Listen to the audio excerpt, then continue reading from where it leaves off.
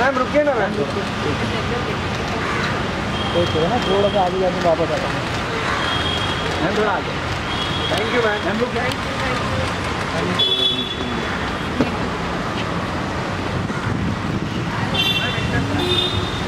Gauri ma'am Gauri ma'am. Gauri ma'am. Ma'am ma'am ma'am Gauri ma'am.